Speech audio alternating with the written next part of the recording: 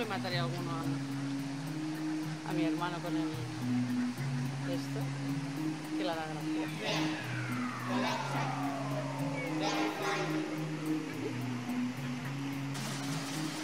gracia.